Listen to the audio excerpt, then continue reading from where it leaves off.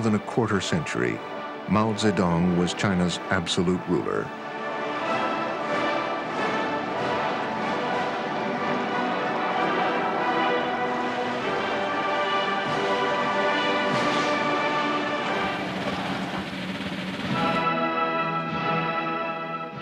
When he died, few could imagine China without him.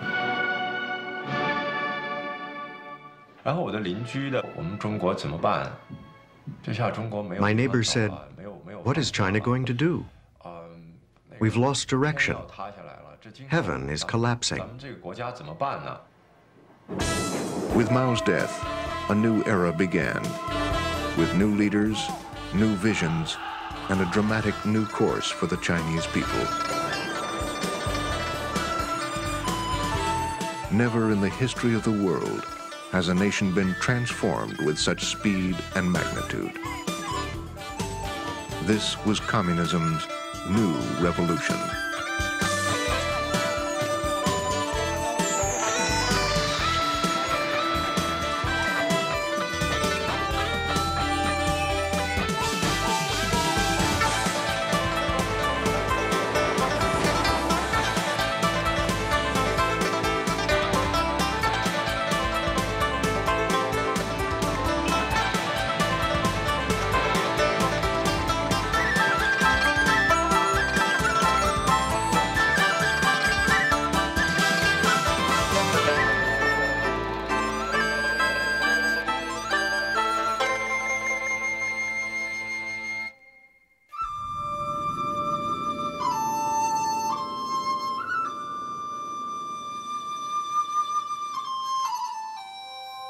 1976, when Mao died, China was a poor country, largely isolated from the rest of the world.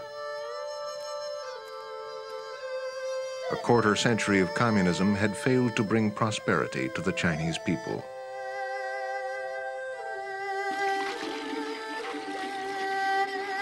Mao's vision of the path to communism had been one of continual revolution he had interrupted periods of growth and calm with one turbulent political campaign after another. In the last decade of his rule, he had launched the Cultural Revolution and brought China to disaster. Mao's most fanatic supporters, millions of teenage Red Guards, followed his orders to attack their teachers, intellectuals, Communist Party officials, even their own families few escaped the violence.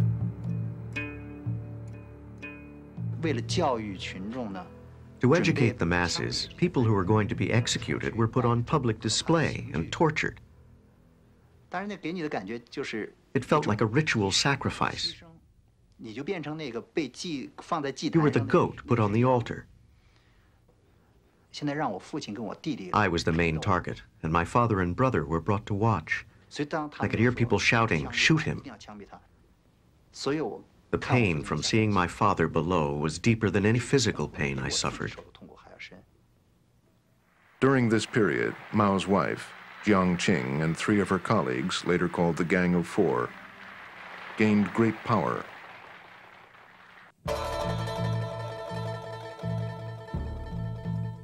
They pushed the Cultural Revolution to its most brutal extremes.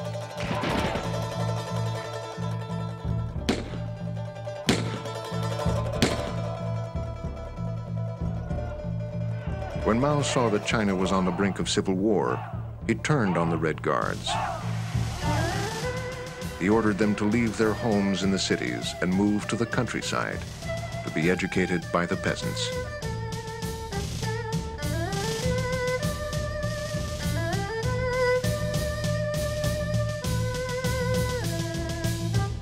These young people became known as sent down youth.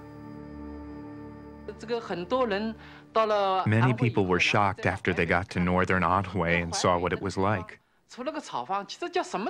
There was nothing there except a few grass huts. The people ate sorghum that was hard as iron. It was awful. We really didn't want to be assigned there for the rest of our lives.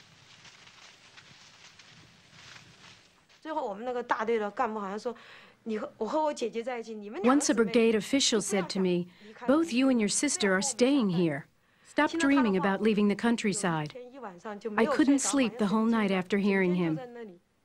I cried and cried as if I had gone mad. Millions of young people lost years of education and family life laboring in the countryside.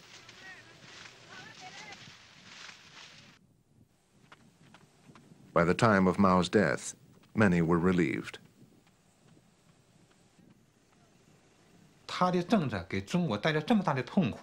His policies had brought so much suffering and catastrophe to China. So I thought that Mao's time was finally over, and it was high time. The unknown Hua Guofeng was Mao's official successor, but his position was far from secure. Mao's widow, Jiang Qing, together with her allies, posed the most immediate threat to his power. Less than a month after Mao's death, in a move that thrilled the country, Hua Guofeng arrested the Gang of Four.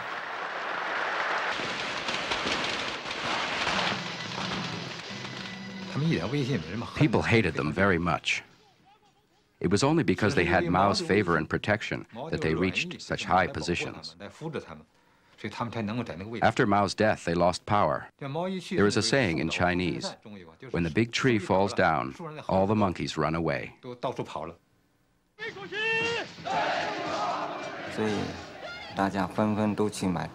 People went to buy crabs. They bought one female crab, which symbolized Jiang Qing, and three male ones, which symbolize the rest of the Gang of Four.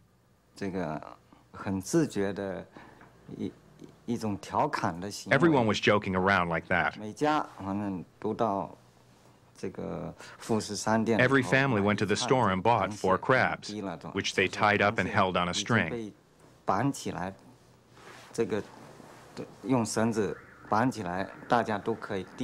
They would wave the crabs at friends to say hello. And then they took the crabs home and cooked them. We Chinese called this our second liberation. Everyone was really happy about it.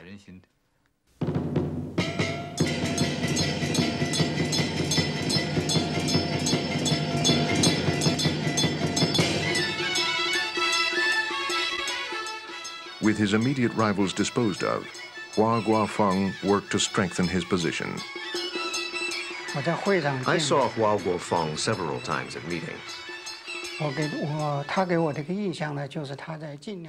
The impression he gave me was that he was doing his best to imitate Mao Zedong,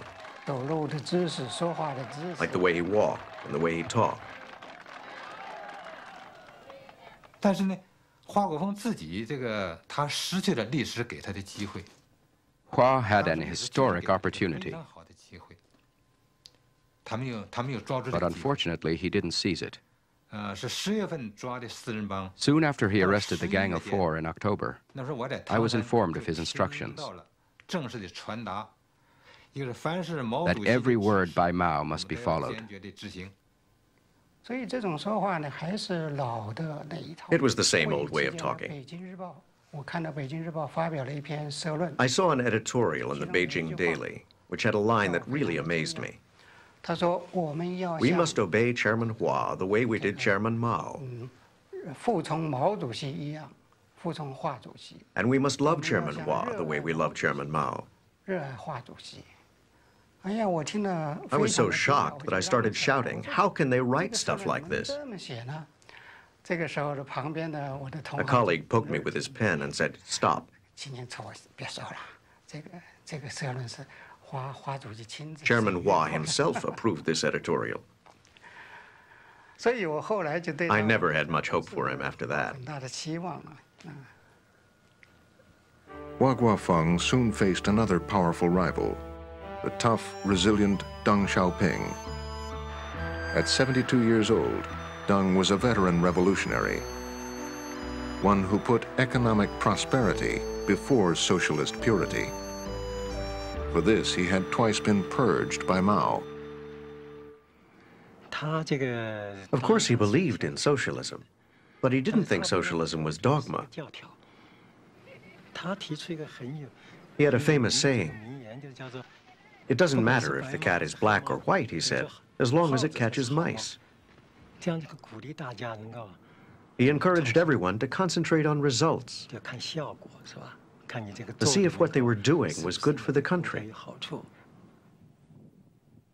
Deng was a pragmatist, but he also believed in the absolute authority of the Communist Party. Without it, he thought, China would splinter apart and slip into chaos.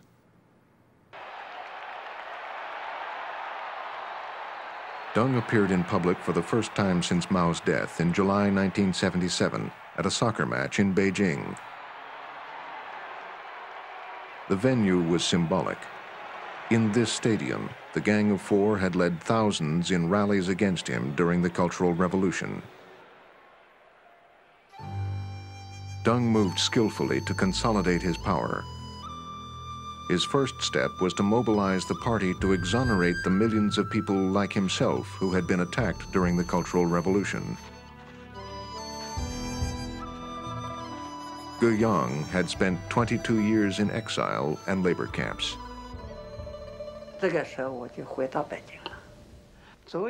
When I returned to Beijing, they told us the charges had been made in error.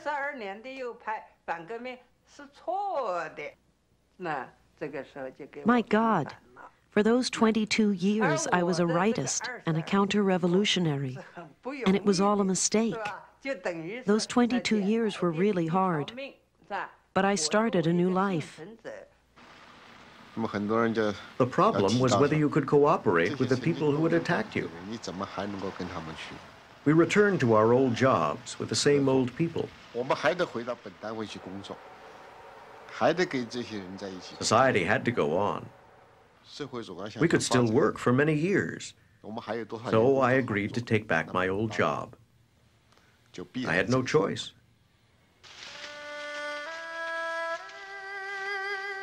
Throughout China, the scars of Mao's rule ran deep. The children of his revolution, especially the sent down youth, were a generation unlike any other. Shaped by the traumas of the Cultural Revolution and their years in the countryside, they began to return home.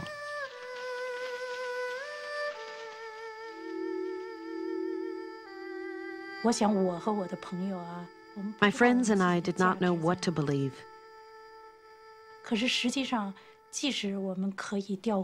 Uh, Even if we could come back to Beijing, and in fact I was transferred to Beijing in 1979 after two years of great efforts, but even if we could return and find jobs, we still felt we had been wronged, that something had been taken away from us. When I came to Beijing, I felt that the city was full of profound changes.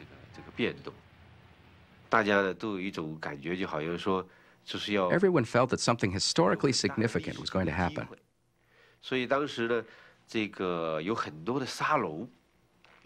Quite a few salons sprang up where people talked about politics.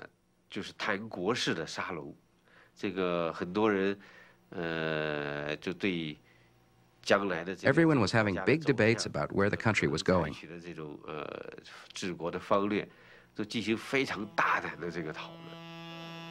In the autumn of 1978, the debate spilled onto the street to an area in western Beijing which became known as Democracy Wall. People came and pasted up writings, articles, and poems. They wanted to express their anger and sorrow about the Cultural Revolution and to understand how such a catastrophe could have engulfed the country.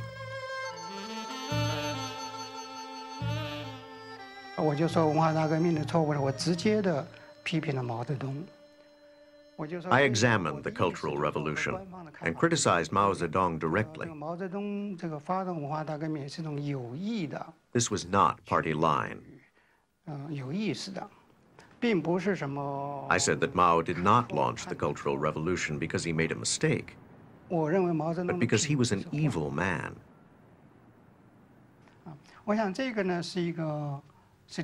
I think it was the first time anybody had ever said anything like that about Mao. My speech caused quite a stir. On November 27, 1978, the People's Daily reported that Deng supported the movement. We have no intention of denying the right of the people to express their views by putting up wall posters, he was quoted. Deng's words fueled the movement. One of the most outspoken activists was a young electrician and son of a party official, Wei Jingsheng. The leaders of our nation must be informed that we want to take our destiny into our own hands, he wrote boldly. Democracy, freedom, and happiness are the only goals of modernization. It was in this heady atmosphere that the Chinese Communist Party met in December 1978. Behind the ritual facade, Deng Xiaoping ousted Hua Guofeng.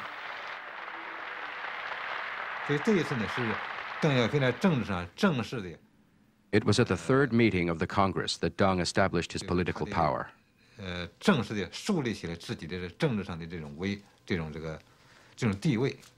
Although he was still a vice chairman, his voice became the party's voice. And his policies were accepted by the whole party. Deng Xiaoping was now the most powerful man in China.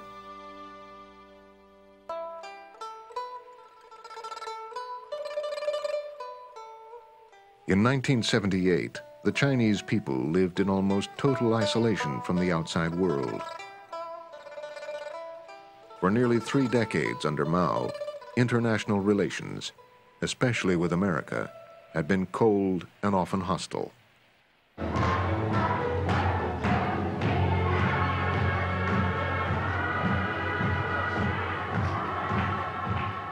Now, China and the U.S. were eager to move forward.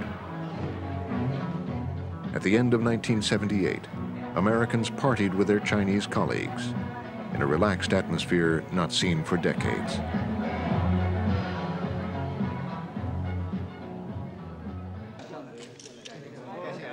Under Deng Xiaoping, negotiations for full diplomatic relations were swift. On January 1, 1979, Ambassador Leonard Woodcock welcomed Deng to the American Embassy to celebrate the new relationship. This had been a long desire on the part of the Chinese to affect normal relations with, with the United States, so that uh, Deng Xiaoping had made this a major item of his program. He was extremely happy. All the Chinese were.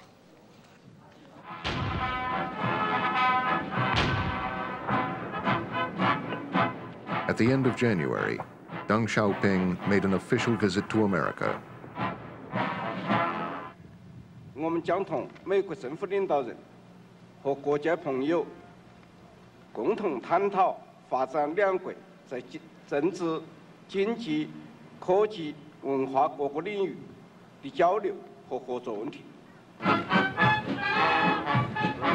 Deng was the first Chinese leader ever to visit the U.S.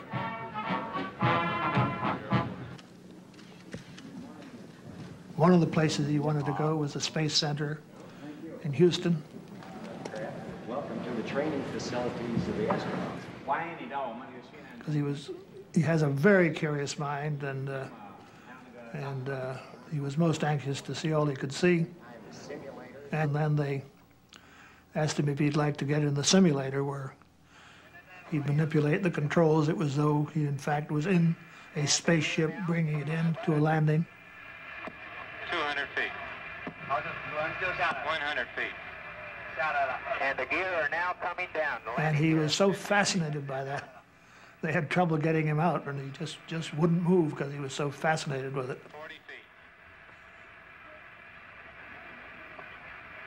20 feet, Fred. Deng Xiaoping knew how to live. Deng loved these activities and was happy to go to them. He had a sense of humor. For example, when we went to the rodeo in Texas, everyone was given a hat. Deng got a kick out of wearing it.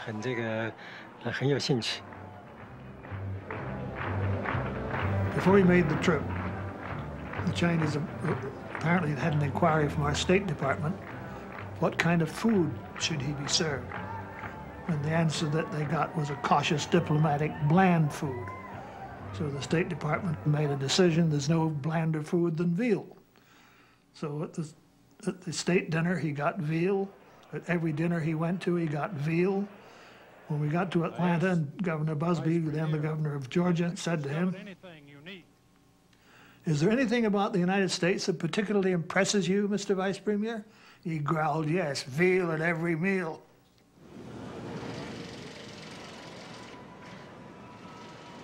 Throughout his trip, Deng discussed his ambitious plans to modernize China and make it part of the world economy. One senior American official said everyone who met Deng was amazed at the boldness and sweep of his vision.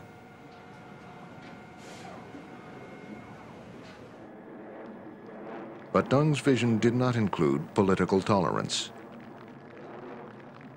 By the time he returned to China in February, the Democracy Wall movement had spread to other cities. Posters at the wall began to make serious criticisms of the Communist Party. When activist Wei Jingsheng warned that Deng was becoming a dictator, Deng ordered Wei arrested.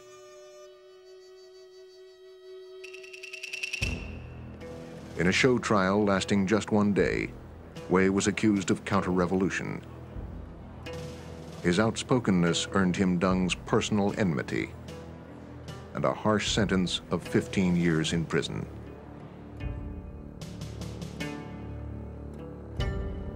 Liu Qing was arrested for handing out copies of the transcript of Wei's trial.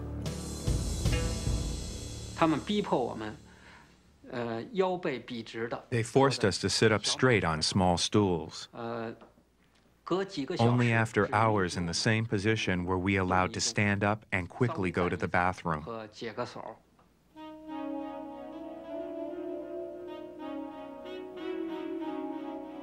For more than four years, I was a vegetable. Except for breathing, they restricted me from moving any part of my body.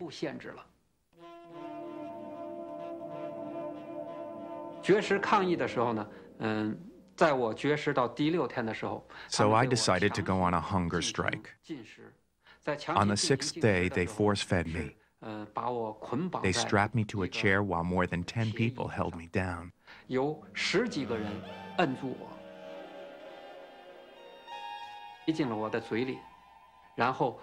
They squeezed my throat so I had to open my mouth to breathe. Then they twisted an iron thing into my mouth. It split the corners of my mouth open. Then they used pincers to pull my tongue forward and forced a tube down my throat. They stuffed liquid food into the tube. Uh, Food, water, and blood mixed together and went into my stomach. After I had been through all that, I understood the Communist Party better. I wanted to die before, but after this I felt I must survive to let the world know what had happened. The posters were torn down and their writers intimidated. The journals which had briefly flourished were shut down. One young poet dared to pin a final tribute on the wall. My friend, parting time is pending. Farewell, Democracy Wall. What can I say to you? Should I speak of spring's frigidity? Should I say you are like the withered winter sweet? No. I should instead talk of happiness, tomorrow's happiness, of pure orchid skies, of golden flowers, of a child's bright eyes. We ought to part with dignity. Don't you agree?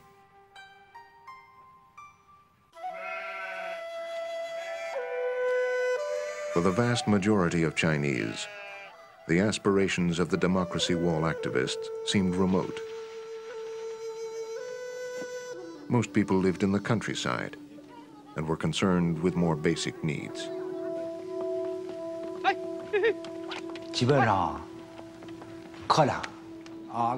Life was extremely difficult. We had nothing but coarse grain to fill our stomachs, and we barely survived.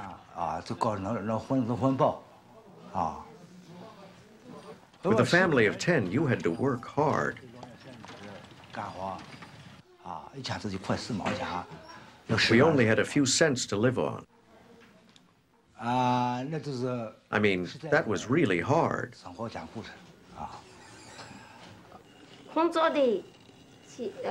We had to go to work very early in the morning. We had to work for two hours on an empty stomach. We ate less than half a pound of rice a day. The men hoed the land while women pulled up the seedlings for transplanting. Everybody had to work. You wouldn't get anything to eat if you didn't. Life was so miserable. Peasants led regimented lives in large communes. There was little incentive to work harder. Even in a crisis, most of their harvest had to be given to the government. In 1978, there was a devastating drought in Anhui province in central China.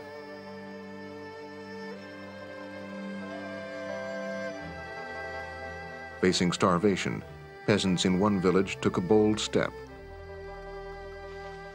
They stopped communal farming and divided the land among the families each household worked with new initiative.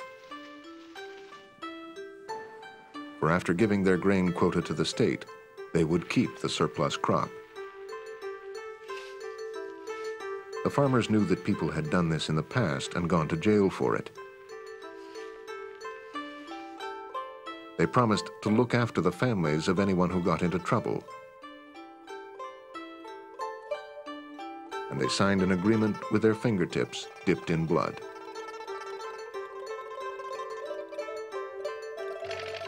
The risk was worth taking because that year they ate.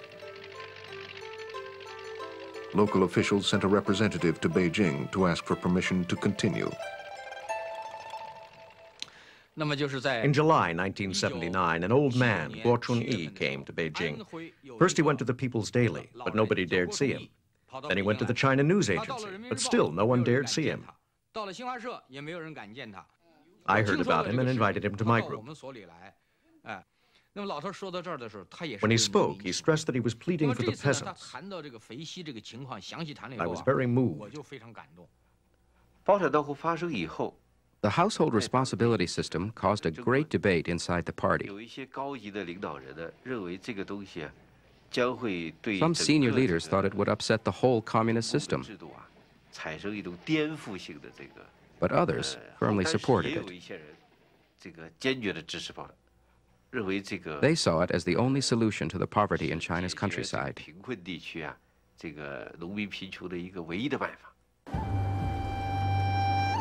In a monumental decision, Deng's government decided to allow the household responsibility system. Soon after, they disbanded the communes, the main means of communist organization and control in the countryside.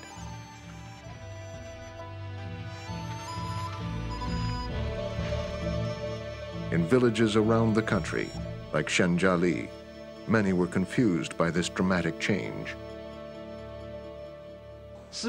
Was this socialism? Was our country still socialist?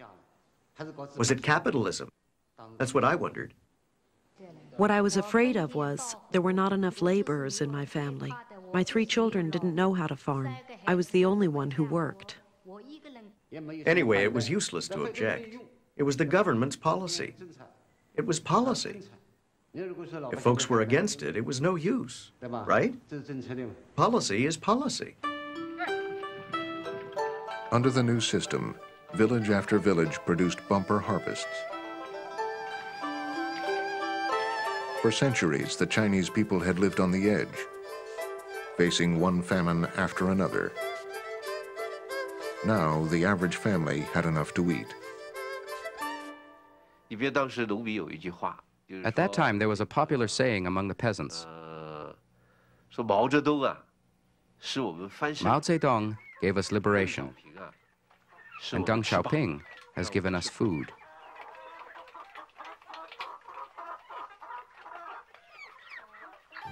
Deng wanted to do more than give people food.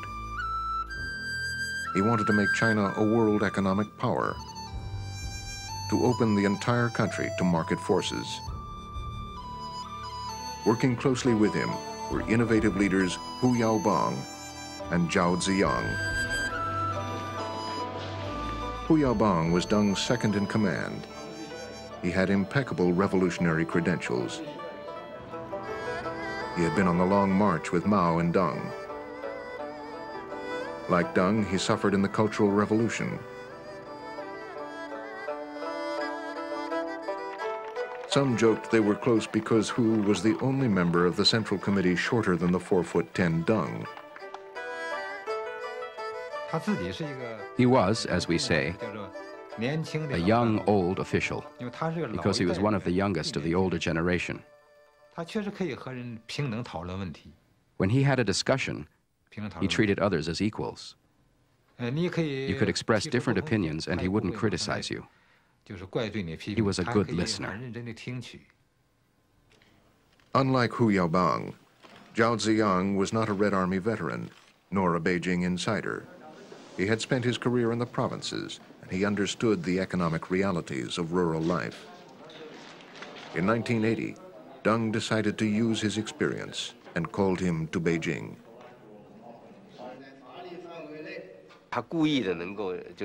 He tried to make you less nervous. He dressed casually, wearing cotton jackets and cotton shoes. Sometimes when he sat on the sofa, he even took off his shoes and put his feet up, like a northern peasant.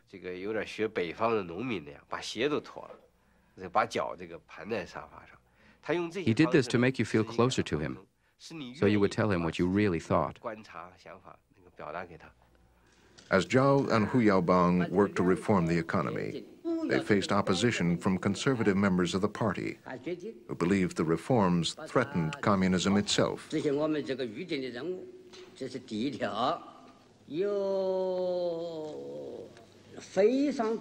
In private inter-party meetings, Hu Yaobang and Zhao Ziyang argued their case with remarkable frankness. 哎，不管是社会主义国家，各个的党，这个资本主义的国家啊，都会要利润的，不是讲今年的改革这么高，和明年的改革这么高，它是要决定我们国家，就是中国这个社会主义经济啊，或者社会主义经济的体制啊，要集中来说一句话呢，就是什么模式啊？我们今天要解决的问题是中国经济社会主义经济的模式的问题，模式的问题，搞一个纲领性的问题。哎，这个模式的问题。处在第一线的领导人赵紫阳、胡耀邦。At the top level, Zhao and Hu Yaobang had to report to Deng. Deng thought, this is simple. If there is a political problem, I'll deal with it. What are you guys afraid of? Just go ahead. They launched a bold new plan of economic development designed to attract foreign technology and foreign money. Deng Xiaoping authorized four special economic zones in the south, carefully placed near the booming economies of Hong Kong and Taiwan. The farming village of Shenzhen was one the government brought in electricity, built roads, office buildings, and apartment blocks. They approved policies inconceivable under Mao. Foreign companies were welcomed with financial incentives. They were allowed to use capitalist business methods. For Chinese workers, wages in Shenzhen seemed fantastically high. From all over the south, people poured into the zones looking for jobs. Most people had to wait a year or two to get a job, but I got one just a month after I applied. It was hectic to start work right away because I was expecting a baby. But I couldn't miss this opportunity. Many people tried to get to Shenzhen, but not all of them made it here. If you worked full time, you had a stable income and bonuses were good.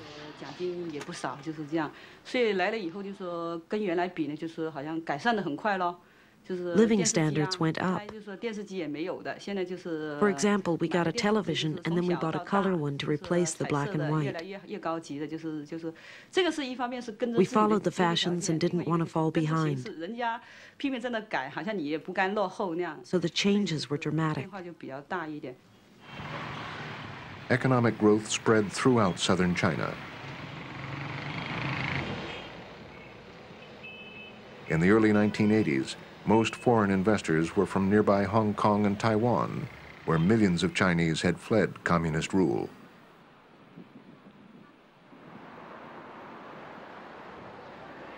Hong Kong, the booming center of international business, was also one of the last remnants of British colonial rule. At the end of the 19th century, the British had forced the Chinese to lease them most of Hong Kong's territory for 99 years. In the early 1980s, investors began to worry about what would happen when the lease expired in 1997. British Prime Minister Margaret Thatcher went to Beijing in 1982 to negotiate with Deng Xiaoping. The Prime Minister spoke about the treaties, uh, the uh, Treaty of 1842 and the Treaty of 1860, which gave us certain areas of Hong Kong. And this didn't go down too well. Uh, said that there could be no question of the Chinese allowing Britain to run the place. Um, the Chinese government couldn't face its own people if that happened. He added that if there was trouble in Hong Kong before 1997, then perhaps the Chinese would have to move in before that. And that provoked very heated exchanges. I remember during the meeting, one senior official said, This is Iron Lady meeting Iron Man in a way, each one was involuntarily impressed by the other. Deng wasn't accustomed to dealing with someone as tough as Mrs. Thatcher. And she, for her part, was certainly daunted by him because he was someone from a quite alien uh, political uh, experience. You realize that that was the end of the line when Deng had spoken. That was it. There was no appeal. He exuded authority. For months, in discussions fraught with profound cultural differences, the English and Chinese negotiated. It won't do anyone any good if this very flourishing Hong Kong that has been built up is destroyed. It's in China's interest to keep it. It's in investors' interest the world over to keep it. Above all, it's in the interest of the people of Hong Kong to keep it. Finally, Deng Xiaoping proposed the idea of one country, two systems and broke the impasse. China would recover Hong Kong, but the territory would keep its capitalist economic system. In 1984, Mrs. Thatcher returned to Beijing to sign the joint declaration, the agreement which would return Hong Kong to China in 1997.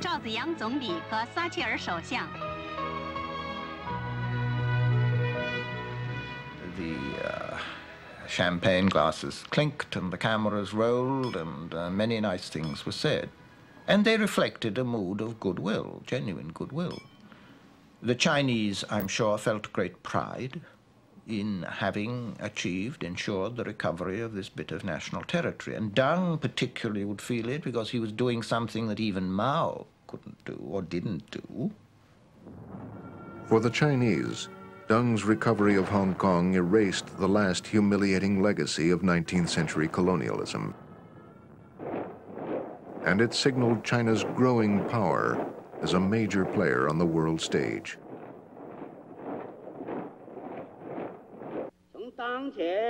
Conservatives in the party responded to Deng's successes with mixed feelings. The money-oriented lifestyles of Hong Kong and the special economic zones went against everything their revolution stood for. Shenzhen really was different from inland areas. The young people there just wanted to get rich. They didn't care at all about the future of the country. Beijing sent people to make speeches about socialist values, but the young people wouldn't listen. They shouted that they wanted to ask questions, and they didn't want to listen to that stuff. As social controls loosened, people moved around more freely. Smuggling, profiteering, prostitution, and pornography all reappeared. Hardliners blamed the rise in crime on Deng's reforms and decadent foreign influences.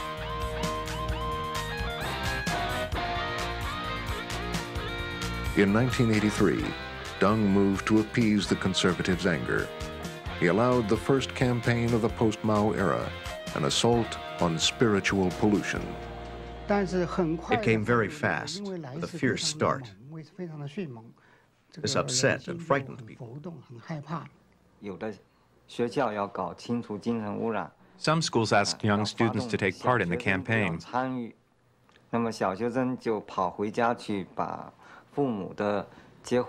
Those students ran home to grab their parents' wedding photos, their mother's lipsticks or perfumes, and gave them to their teachers, saying they had spiritual pollution at home.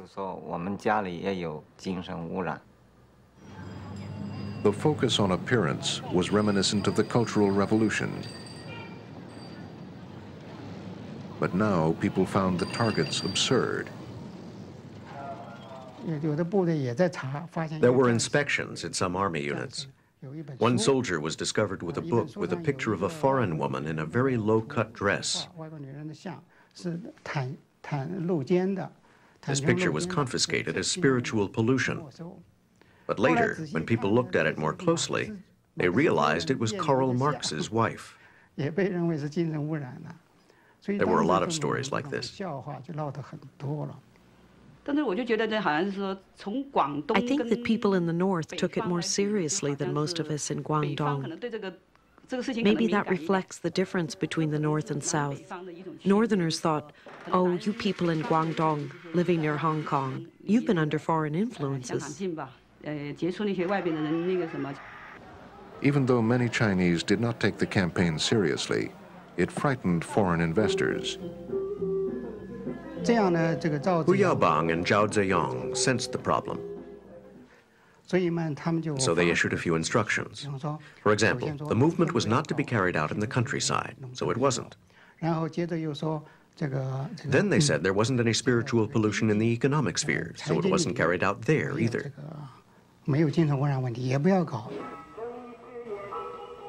After a few months, the campaign fizzled out the party redirected the movement to a major crackdown on crimes like smuggling.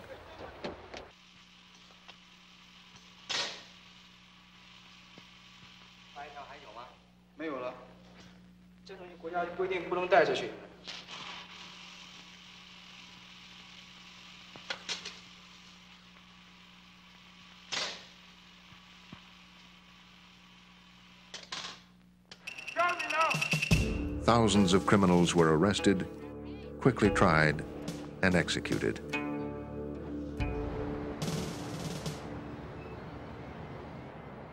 In January 1984, Deng personally signaled that economic reform would continue. He traveled to the special economic zones in a highly publicized trip.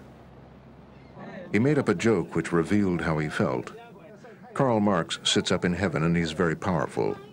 He sees what we are doing with socialism and he doesn't like it. So he's punished me by making me deaf. Deng was in fact deaf in one ear, but his point was clear. His reforms looked far more capitalist than Marxist.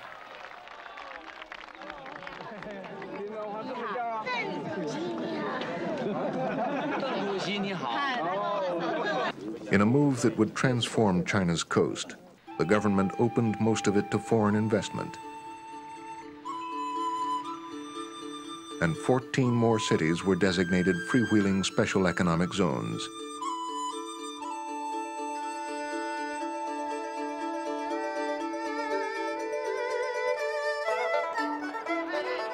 Outside the cities, China's peasants were better off than they had ever been.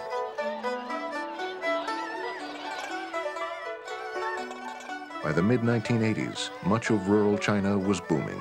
Families farmed on their own. They earned cash selling their surplus produce.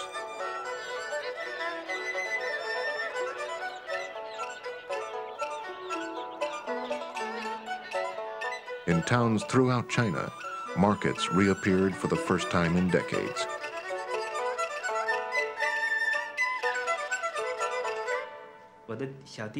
My youngest brother graduated from junior high.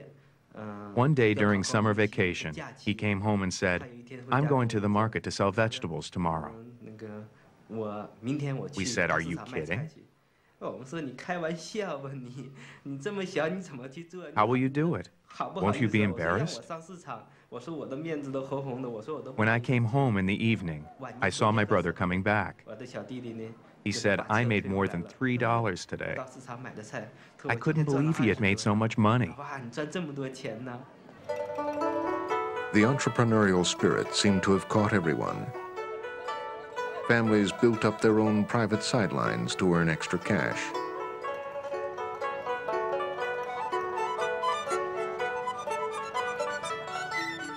In villages like this one in Anhui, which had faced starvation only five years earlier, even party officials became businessmen.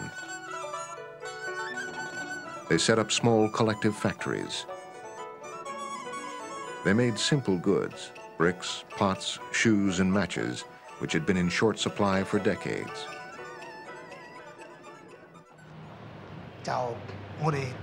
The local government asked me about making lamps, if I had the courage to start a new venture.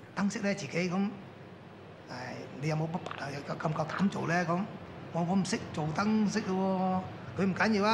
said I didn't know anything about this kind of work, but the government told me not to worry. They said that the responsibility would be taken collectively. So I thought, why not? I threw myself into it. At the beginning, we concentrated on small lamps, just for the domestic market not for export overseas. The rural factories began to fuel the national economy with growth rates of more than 20% a year. And they provided jobs for the peasants, allowing them to earn more money than they had ever dreamed.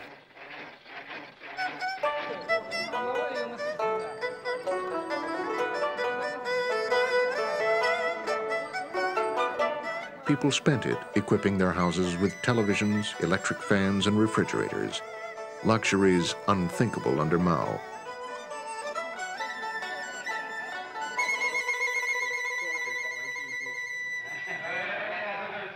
With their new prosperity, villagers had leisure time to look beyond their immediate needs.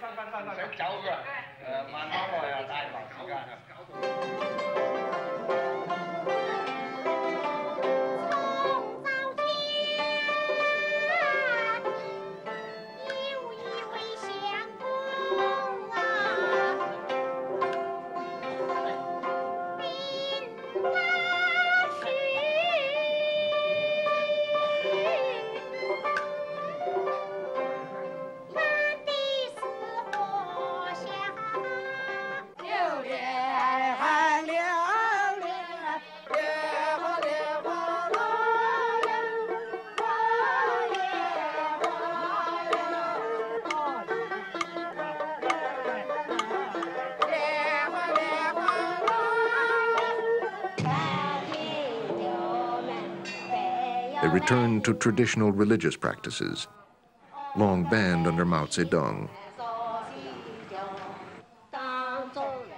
They worshipped Buddha as well as local deities. In Shenjiali, villagers prayed to the Old Father God. We always believed in him. Even during the Cultural Revolution, people secretly believed in him. When Chairman Mao was alive, his horoscope was very powerful and the gods did not dare come out. Then, because Mao died, Buddha and the gods came back.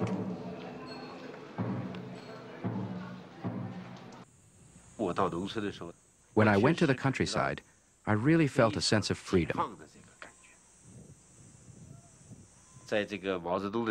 Under Mao, people had to work in the fields every day.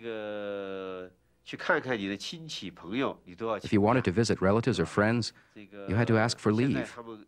Now they could use their time freely. It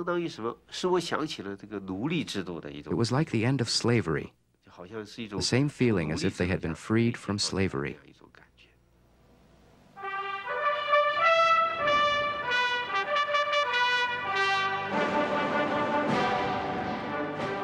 In October 1984, the Communist Party celebrated its 35th year in power.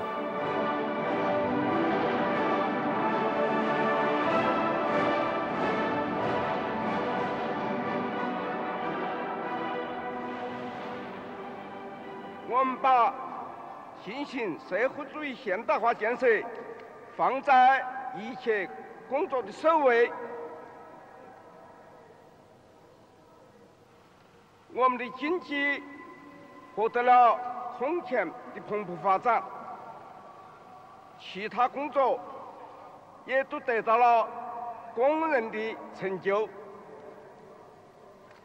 今天，全国人民无不感到兴奋和自豪。The scene was really moving. I think this was when he was the most popular. His prestige was at its height. Everyone was very happy and wanted him to strengthen his leadership of China.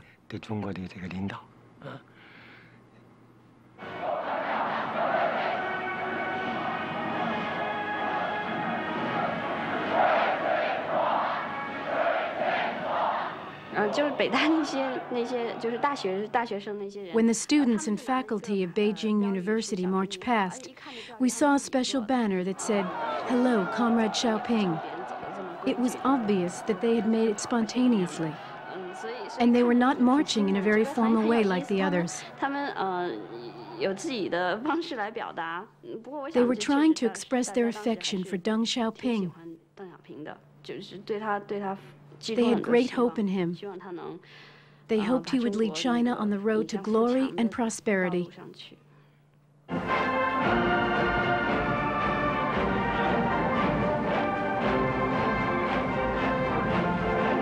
But the hopes of the young people were very different from Deng's.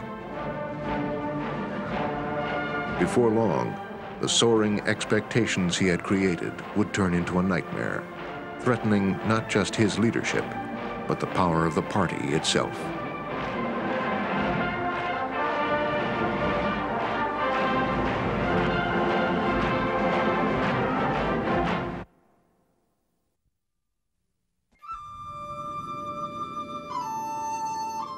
We now continue with part two of Born Under the Red Flag.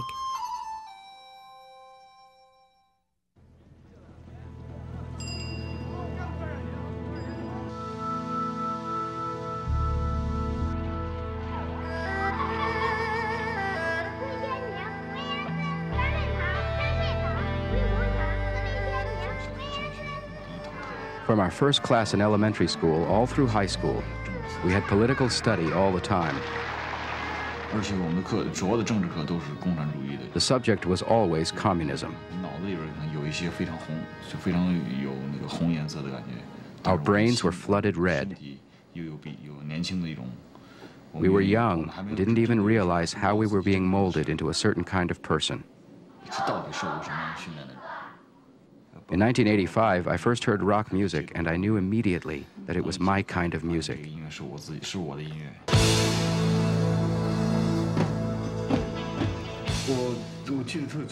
What I remember most clearly is when we made my second song, Nothing to My Name.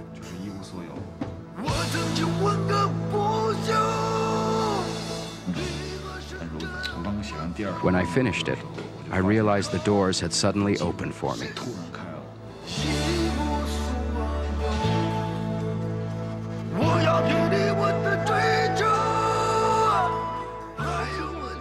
The appearance of Cui Jian was so fun, so fresh. His song, Nothing to My Name, reflected exactly how I felt.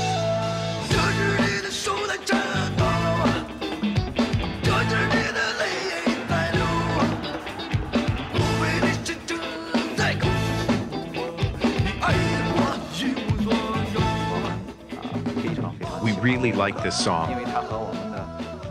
We could really identify with it. Every student was broke, and their parents didn't have anything either. All we had were our brains and our hands.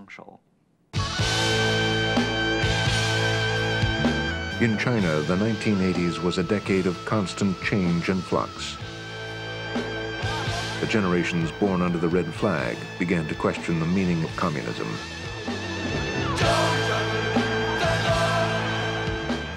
Like their parents and grandparents before them, they dreamed of political change and paid a heavy price.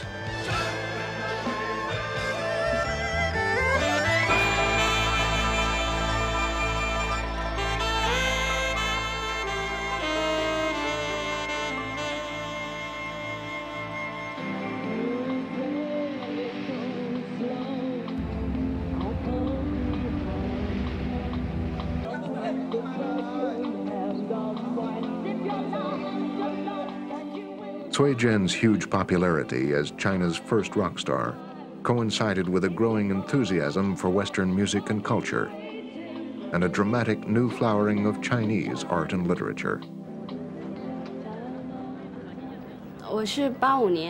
I started Beijing University in 1985. I ran right into what we called cultural fever. People my age were the most affected by it. My whole way of thinking, even my personality was greatly influenced.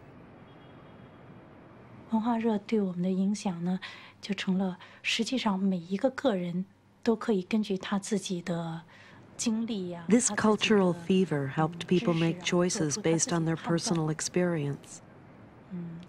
This individualism, this spirit of openness gave me self-confidence. I realized I was capable of doing things for myself.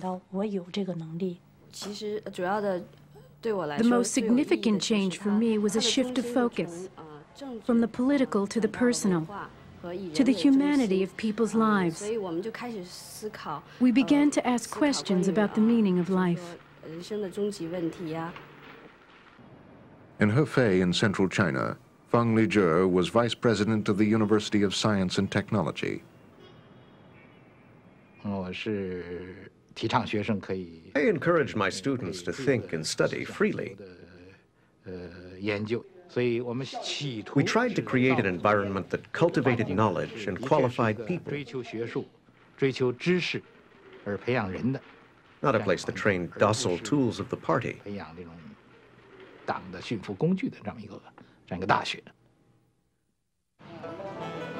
The atmosphere of openness at the university was so unusual and appealing that it attracted young people from all over China.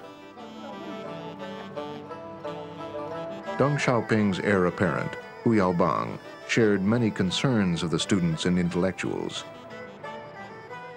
He too questioned communist dogma.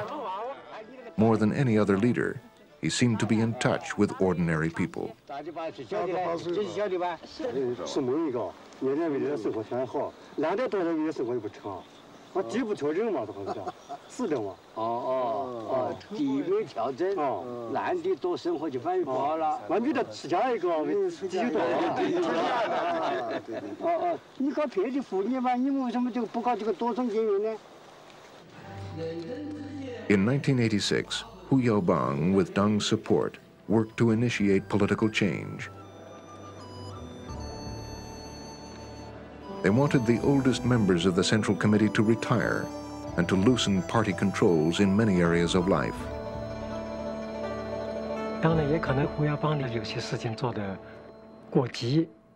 Maybe what Hu Yaobang did was too radical and went beyond what other people could accept. So he was opposed by many people. Especially by the older veteran revolutionaries We're not used to these things. While Deng Xiaoping supported Hu Yaobang's efforts, he could not ignore the views of the party conservatives. Political reform was shelved. But on the nation's campuses, students were not satisfied. In December 1986 in Shanghai, Beijing, and Hefei, they held demonstrations. They demanded the right to nominate candidates in local elections. They wanted better conditions on campus and a say in the jobs they would be assigned for life. We were so eager to express ourselves, but we didn't have anywhere to air our views and feelings.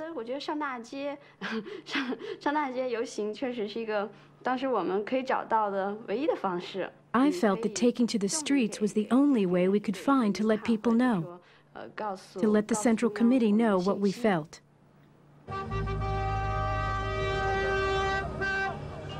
In Shanghai, 30,000 students marched, and they were joined by huge numbers of city residents.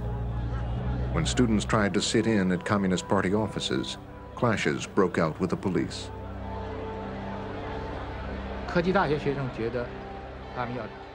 My students thought that they should support the students in Shanghai.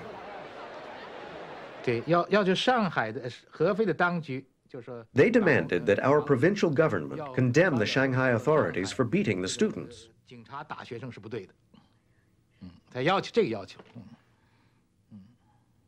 It was extremely dangerous to make such a demand.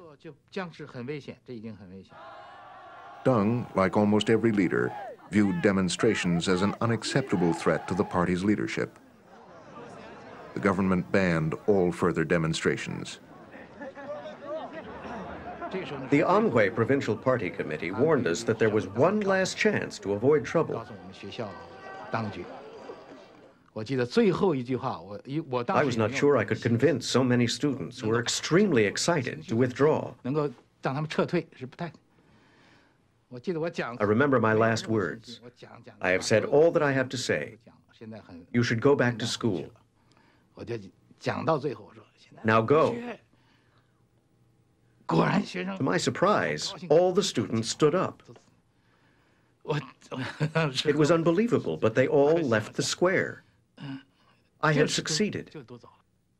I was very happy. By the end of December, students around the country returned to class, but not in Beijing.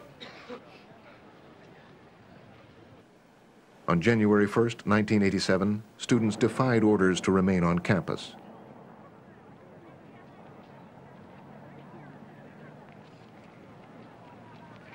They marched to Tiananmen Square in the heart of Beijing. Police were ready for them.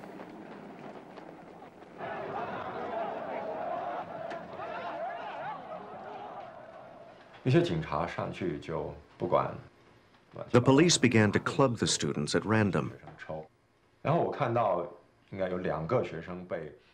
I saw two students knocked down and kicked by the police.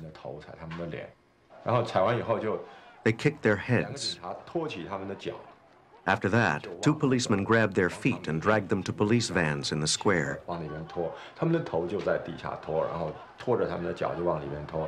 It looked like water had been poured onto the square on purpose.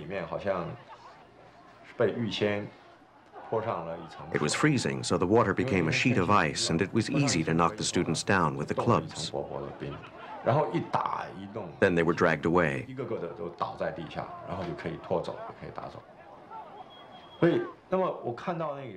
That was the first time in my life I saw a confrontation between police and civilians. The first time in my whole life. Working quickly, Hu Yaobang prevented the conservatives from jailing the students. He ordered the young people bussed back to campus. Enraged hardliners struck back. It was rumored that there was a blacklist of intellectuals who would be punished. I was definitely one of them. I remember some of us were having dinner at Guiyang's one night.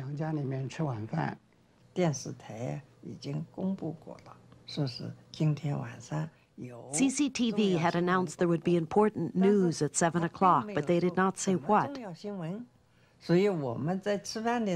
So we watched TV during dinner and heard the news flash from the government. They announced that Hu Yaobang had been ousted. The conservatives forced Hu Yaobang out, blaming him for weak leadership and for not crushing intellectual dissent. Aya, when we heard the news, we felt that it was all over. We were in shock and realized that we wouldn't be able to turn to him for protection anymore. We were doomed. Then the hardliners went after intellectuals who had questioned the party. I wanted to leave the party before they ordered me out. I did not want to belong to that kind of party. But I was angry. I felt it was unfair.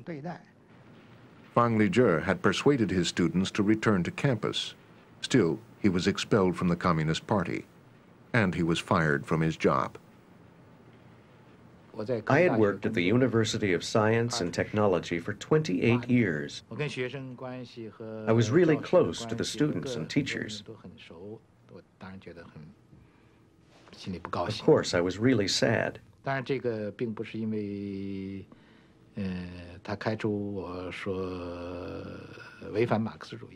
I didn't care about being expelled from the party or being accused of being anti-Marxist.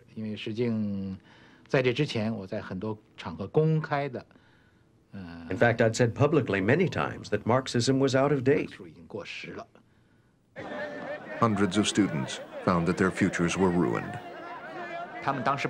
At the time, they guaranteed they would not punish the students who joined in the activities. But when those students were assigned jobs, they used all kinds of excuses to send them to very remote places. We knew what was going on. They were all top students. The authorities assigned them that way to retaliate because they couldn't stand those students.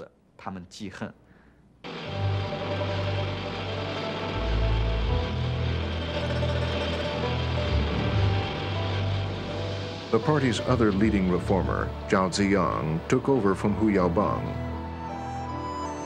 While the student movement had been silenced, Zhao had to deal with a growing number of social problems.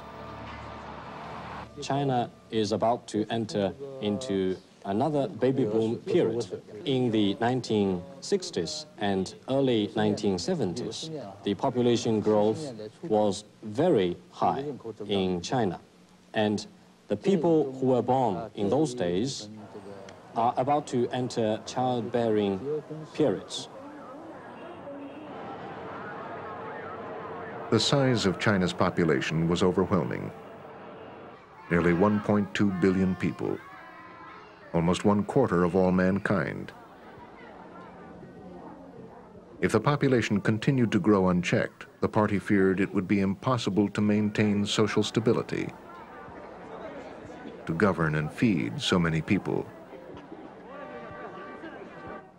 In 1979, the party had started the one-child policy. Women who already had one child were made to use contraceptives. If they became pregnant again, they were pressured to have abortions.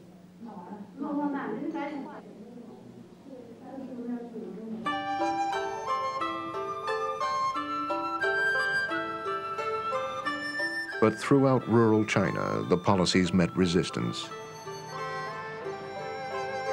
In villages like this one in northwest Shanxi province, people traditionally wanted large families.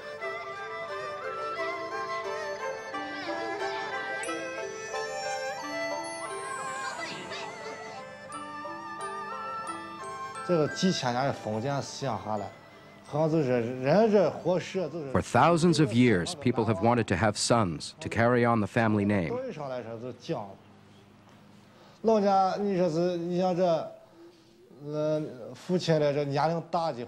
For instance, when a man grows old, he won't be able to support himself if he doesn't have a son. We have several cases like this in this village. Old people in their 70s or 80s become helpless without sons. Chen Ku's mother enforced family planning in their village. At first, the policy was not so strict. Later, they started to control even the second child. They used tractors to take women to the hospital to get their tubes tied. The local police did this.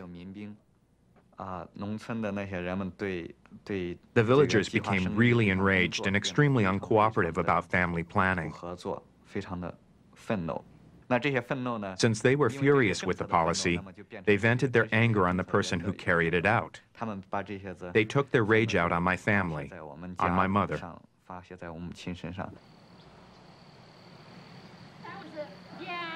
Women fled their villages to give birth in secret elsewhere.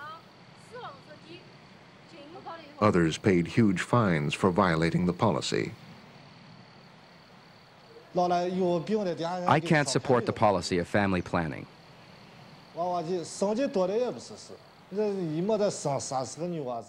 Of course, people can't afford to have too many children. When you have three or four girls, your burden becomes too heavy. Some families in the village have to have three or four girls before they finally get a boy. If you have a girl, you can't just get rid of her.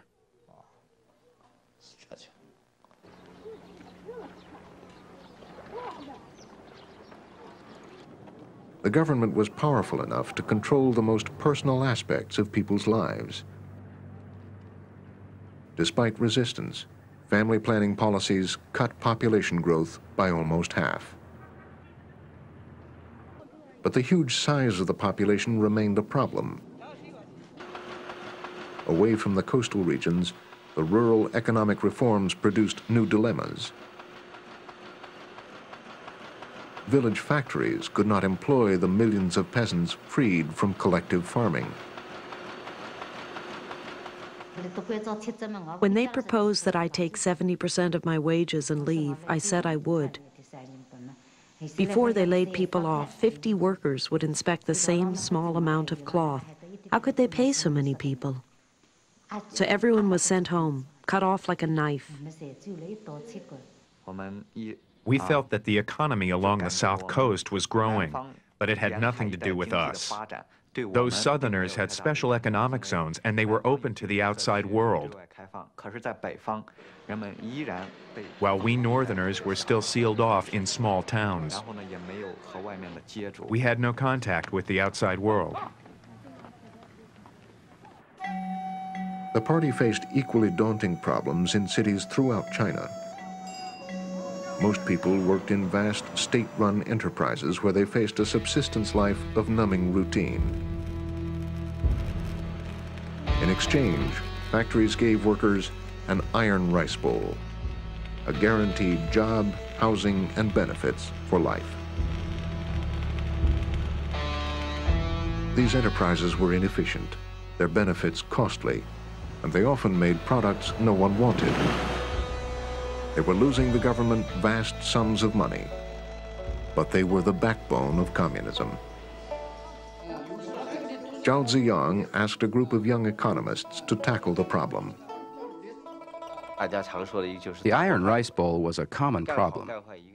It didn't matter if you worked well or badly. It didn't make a difference whether factories were efficient or profitable or not and workers' salaries were all the same. So why should you work? It was very hard to fire a worker. The Public Security Bureau ordered managers to rehire workers, since they might create social unrest.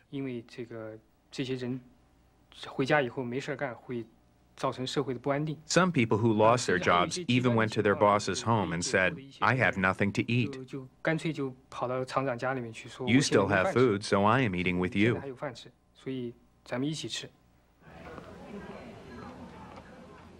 Few workers dared give up the security of their iron rice bowl. Um, Nobody wanted to give up his job and jump into the sea, as the saying goes which means doing business on your own. Not one of my friends had the guts to do so. By 1988, workers were growing nervous as they saw inflation eat into their fixed wages. And they grew angry as they saw government officials use their connections to make fortunes. From the families of top party leaders to local village officials, corruption riddled society. We were not sure what to do next. Our leaders were pretty frank about it. They admitted they were crossing the river by touching the stones. This means that if you want to cross the river but don't know how deep the water is, you have to feel for the stones every step you take. Otherwise, you may fall into deep water and drown. The leaders of the Central Committee started to say that we needed to experiment, that this was the first stage of socialism and that mistakes were inevitable. My in laws, who were mid level government officials and had worked for the party for decades, began to criticize Deng more openly and said that he had made a mess. But in the communist system, people had no way to make their voices heard. In the spring of 1989, a chance came. Hu Yaobang, the popular leader ousted two years earlier, suffered a heart attack. He died on April 15, 1989. When Hu Yaobang passed away, this anger which had been suppressed exploded. All of a sudden, overnight, the campus was full of big posters. In the days following his death, students in Beijing flocked spontaneously to Tiananmen Square to pay tribute to Hu Yaobang. They seized the occasion to make political demands for freedom of speech, for the right to form student unions, and for an end to government corruption. The official memorial service for Hu Yaobang was on April 22nd in the Great Hall of the People.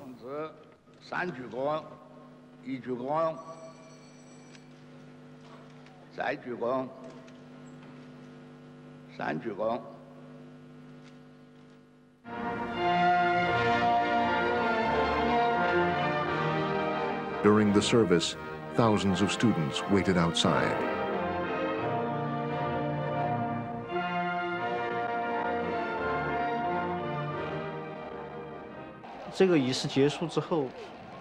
When the service in the Great Hall of the People ended, everybody was very hesitant. If we just went home, it would have felt as if we hadn't expressed our feelings.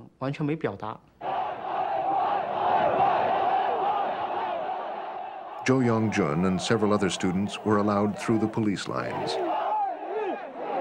They tried to give the government a petition with their demands.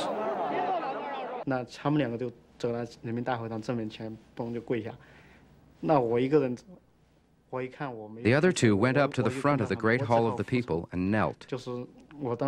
All I could do was follow them and kneel. But I only knelt on one knee. I felt humiliated. All kinds of feelings welled up in my heart. I stood there and cried silently. My tears were running down, running down nonstop. The young men waited on their knees for nearly an hour. No official came to receive them.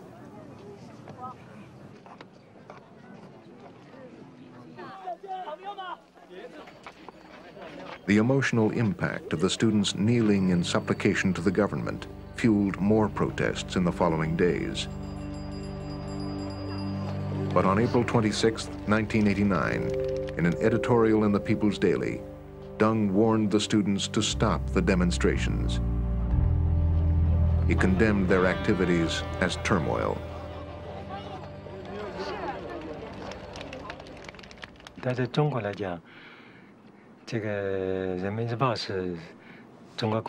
The People's Daily is the mouthpiece of the Chinese Communist Party. This editorial represented the view of the Central Committee, the views of the leaders. That's why this kind of editorial gets so much attention in China. It's just like the party giving orders to the whole country.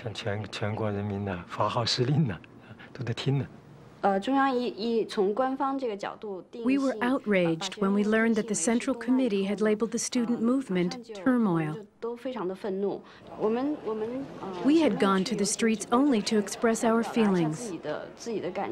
We all wished the best for our country. We never wanted to bring down the government. For the first time since the founding of the People's Republic of China, the people refused to be intimidated by an official condemnation. The next day, a line of students four miles long marched to Tiananmen Square.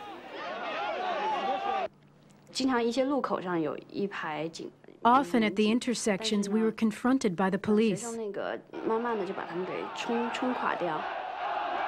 But the students broke through each police line one by one.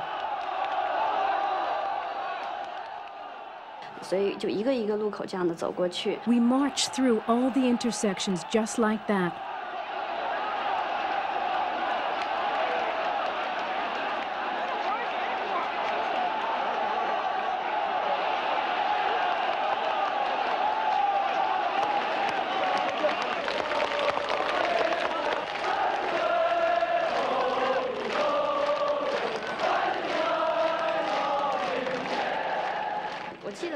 Remember that while we were marching on the overpass at Fuxing Men, I looked down at the streets below and saw the long, long lines of students.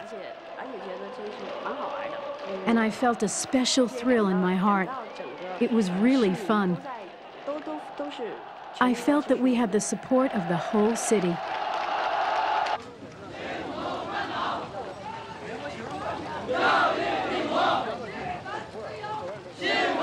May 13th, a few hundred radical students donned white headbands and marched to Tiananmen.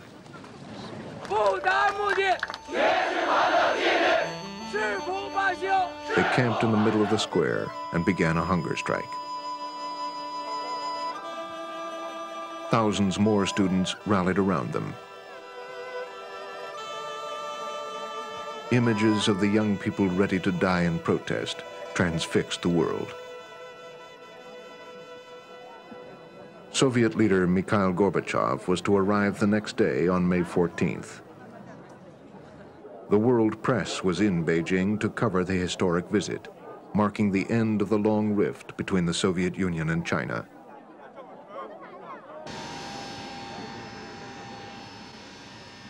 The summit turned into a terrible humiliation for Deng Xiaoping.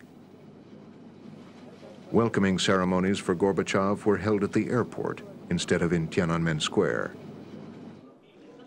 What should have been a triumph for Deng was completely overshadowed by the thousands outside who were now calling for his resignation. The crisis escalated as students all over the country marched in support of the movement in Beijing.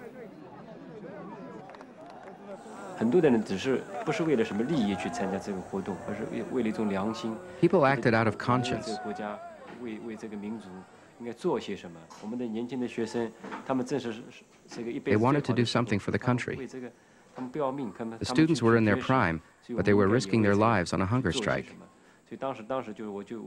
So we had to do something too. It was the most exciting time of my life.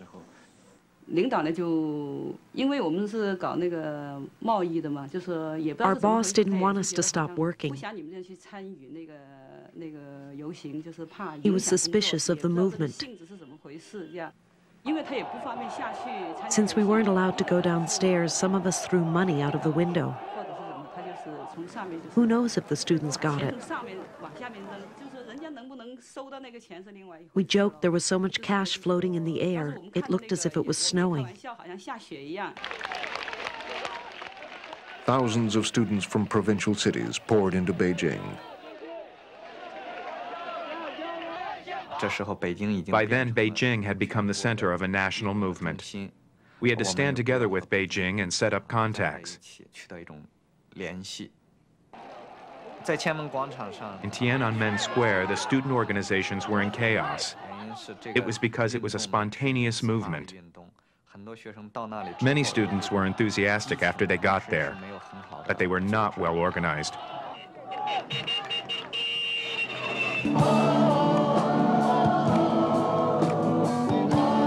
Tiananmen Square became a world unto itself.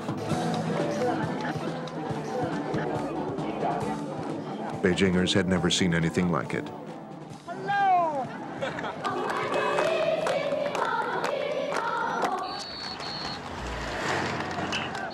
The entire city seemed to march in support of the students.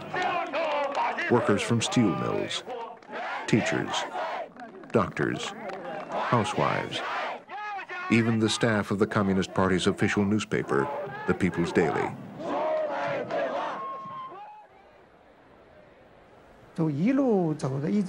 We walked to Tiananmen, where it was a sea of people.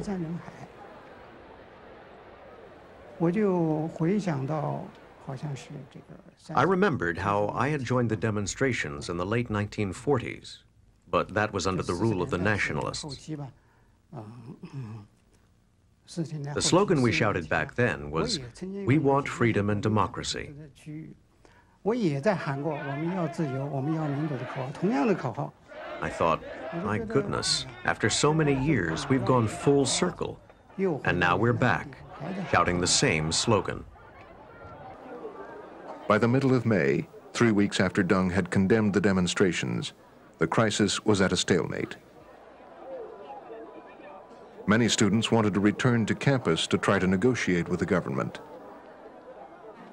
but the radical students refused to leave. The government also was sharply divided over what to do. Zhao Ziyang indicated he wanted to negotiate.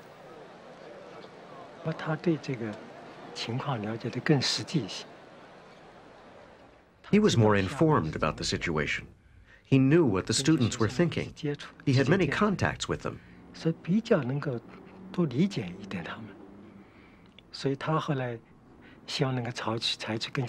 That was why he hoped that there would be a moderate way to convince the students and to get better results.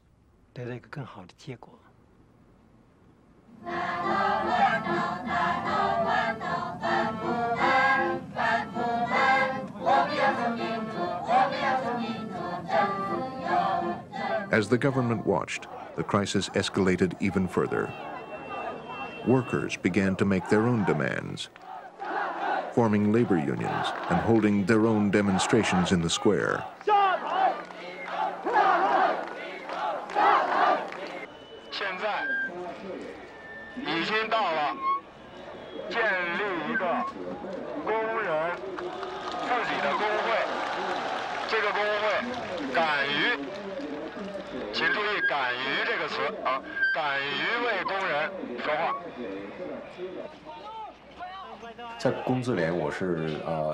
We formed a standing committee for the Workers' Autonomous Union.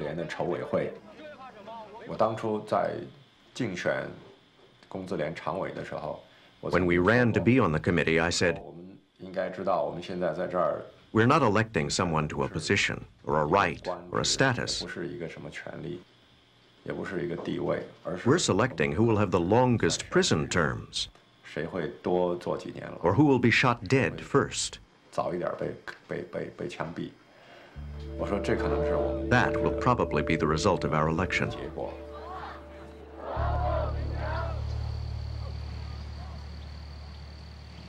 What seemed like a life or death crisis in Beijing meant little to the majority of the population who lived in the countryside. In the middle of the protests, Shen Weirong returned to his village for family reasons. In villages like ours, the student movement did not mean a lot. My mother and my grandma did not care much about politics. They were only concerned about my well being. I didn't agree with the student movement opposing Deng Xiaoping. It was only after Deng came to power that my son could go to college based on his own merits. Freedom and democracy were too far removed for them. They had no concept of such things. They'd say, What kind of freedom do you want? You are in college. You can say and do anything you like. What more freedom do you want? I could not communicate with them.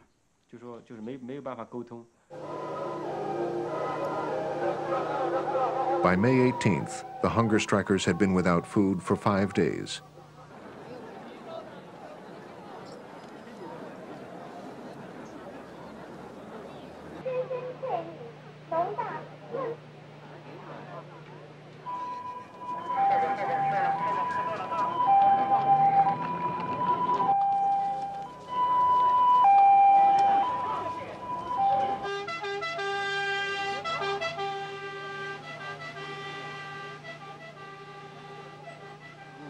Finally, that day, the government invited student leaders to a meeting. 而且我也差不多讲了我的观点。如果你们认为你们自己在座的这些同志不能够，要能够不能够完全呃左右他们的行动嘛，那我就是通过你们。那么我现在想提醒您，刚才说纠缠这个问题，我们学生提出来只是从人道的立场上说解决这个问题。While Wuer Kaixi was speaking, I watched Li Peng's face and saw him flush with anger. I think the students must have enjoyed seeing him so upset. I certainly did.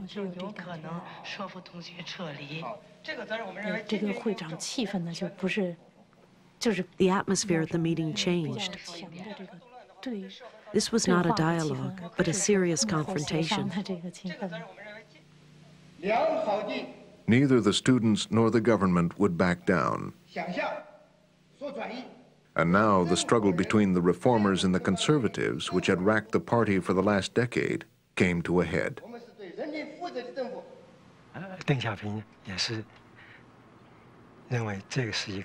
Deng Xiaoping continued to believe it was turmoil, since it was turmoil, it was completely bad, and there was nothing good about it. Just hours after the meeting, reformer Zhao Ziyang came to the square. With tears in his eyes, he apologized for not having been able to resolve the crisis. This was Zhao Ziyang's last public appearance. The hardliners stripped him of his posts and banned him from public life.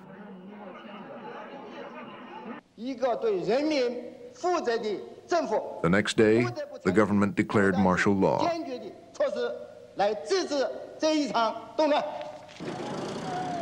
The students called off the hunger strike.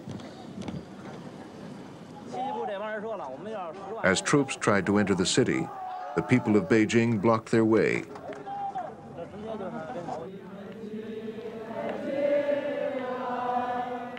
For two long weeks, they stopped the army from reaching Tiananmen Square.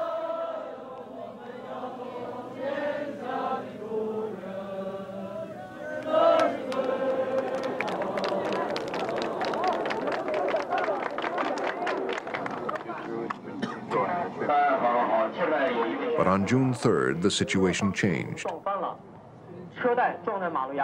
Students heard that troops were forcing their way through the crowds to the square.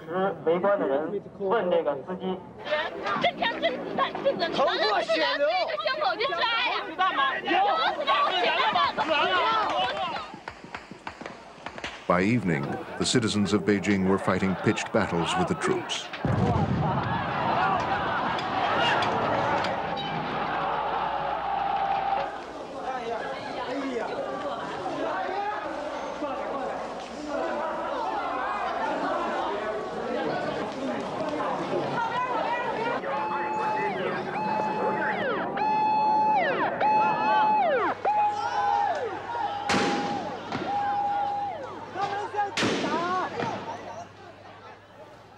一直都没有那个那个想法，就是说解放军会开枪，我永远都不会。I never imagined the PLA would open fire，因为在那之前很多人都跟我说，说解放军会不惜一切代价。People told me the army would take control and would kill if necessary。那时候我就告诉他，我说绝不可能。I said I didn't believe it because I had been a soldier。我就想我自己的经验，在当兵的时候。During our political study sessions, the major lesson was that the job of the PLA was to serve the people.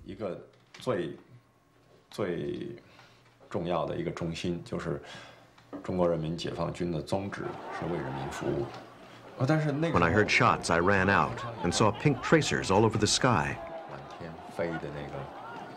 I didn't know what to do. The only thing I knew was I should stay. But to do what? Wait for my death? Or fight back? I had no idea at all. The demonstrators who chose to remain gathered in the center of the square.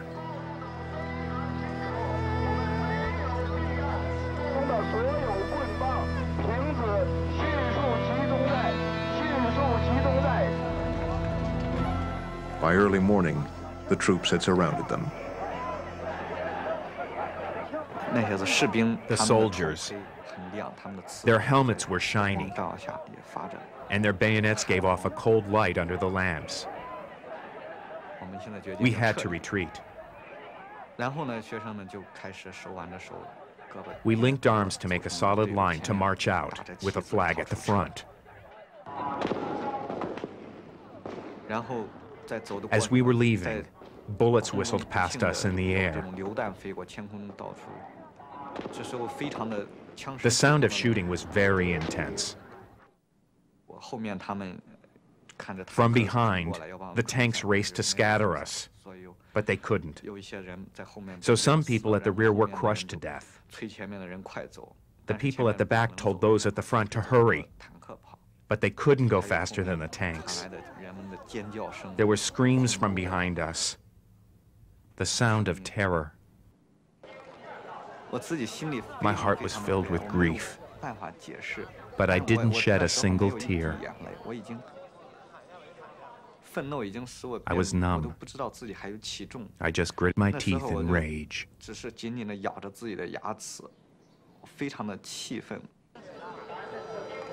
As the sun rose on the morning of June 4th, the students finally headed back to their homes. It is estimated that more than 200 people died that night. Most of the casualties were ordinary citizens, killed in the streets leading to the square. The government arrested thousands who had joined in the demonstrations. Many of the movement's young leaders fled abroad. A few chose to stay. They were sentenced to one prison term after another.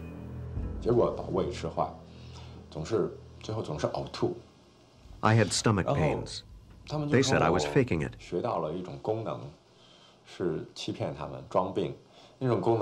They said I could control my stomach and make myself throw up.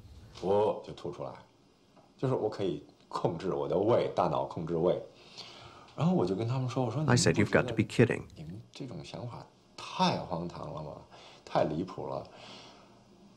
But they didn't believe me. They hated me for not cooperating with them. I was furious. I said, okay, I don't need help anymore. I want you to watch me kill myself. Then I started to hit my head on the wall. I shouted, the Chinese are so pathetic. Those who can hear me, just remember what I'm saying. I will never be Chinese in my next life. Don't be Chinese. It is too horrible to be Chinese, too sad.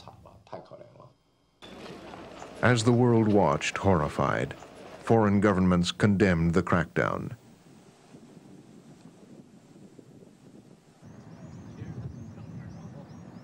international businesses recalled their employees and scaled back their investments. Deng Xiaoping was unrepentant.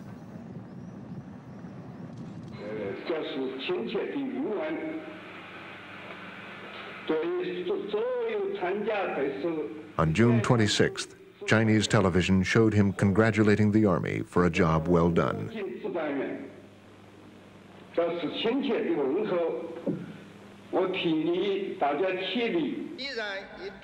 As 1989 came to a close, Deng and the rest of the party watched communism collapse in Eastern Europe and the Soviet Union. They held firm to their position. 事实证明，中国共产党和中国政府 为平息动乱、暴乱所采取的决策和措施是正确的，是符合全国各处人民共同愿意、意愿和根本利益的。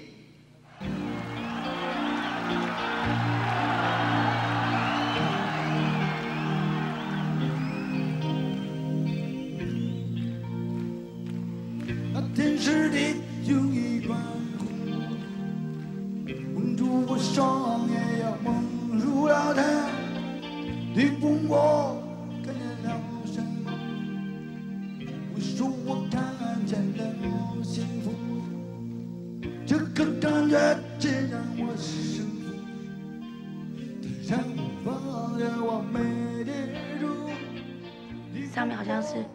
The government was nervous about the students who participated in the movement and thought they should be re-educated. I refused to be re-educated with the others. That's why I couldn't get a decent job. So I decided to try my luck in the South.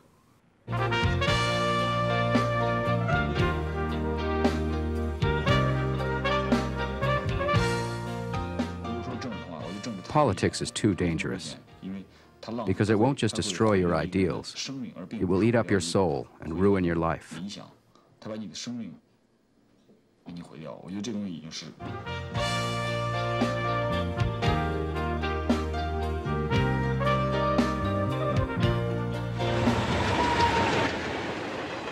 Political repression did not mean that Deng Xiaoping abandoned economic reform. On the contrary, in the early 1990s, he launched China into its most spectacular period of economic growth.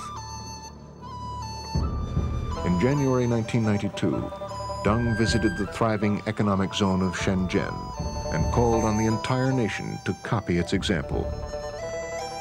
Communism will not be saved by rhetoric, he said, but by improving people's living standards. His words were soon translated into policy. A few months later, Deng's third heir apparent, Jiang Zemin, addressed the 14th Party Congress. 社会主义的改革开放和现代化建设要搞得更好更快。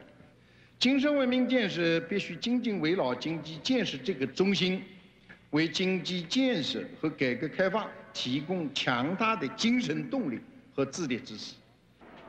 The policy worked. Lured by the promise of China's vast market, foreign investors returned. Companies from America, Taiwan, Japan, and Europe scrambled for Chinese contracts.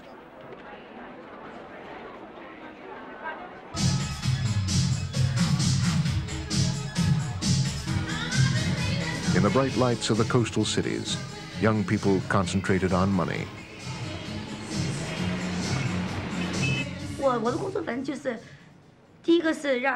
My job is to organize the girls and to supply them to clients who want them. I control that. I'll find clients whatever they want.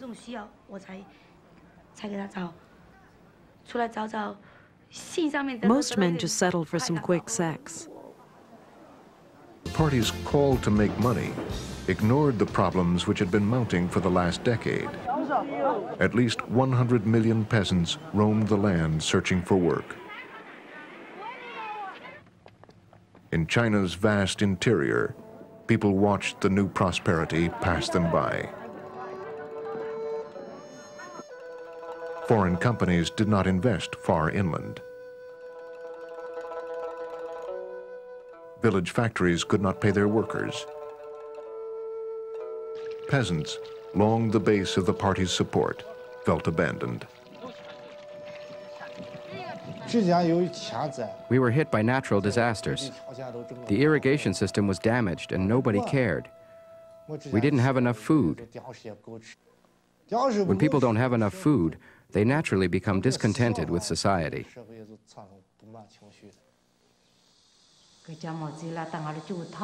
In Mao's time, our lives were so peaceful. Everyone was poor. Everyone had the same bitter life. Now there is a huge gap between rich and poor. The rich have villas and air conditioners, but very few are rich. For most people, life is hard. We need help from the government. Nobody pays any attention. But when it comes to collecting grain tax and money, they come. The peasant's burden is really too heavy.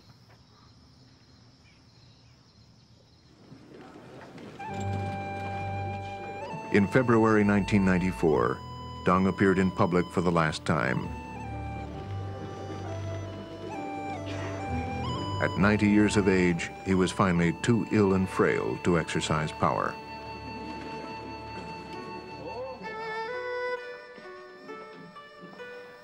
Deng Xiaoping was the last of the generation of men and women who founded China's Communist Party, who fought the revolution and unified the country. Oh, we believed the Communist Party would make China a democratic country. A Communist Party government would be honest and clean. I dedicated my life, all my energy, to the cause.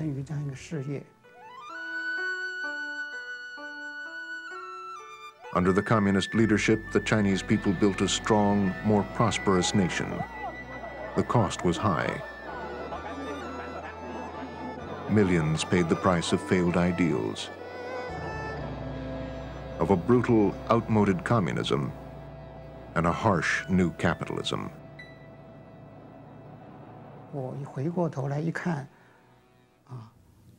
40 years later, looking back, I feel very sad. I have such an intense sense of loss. Where is the goal we've been striving for all these years?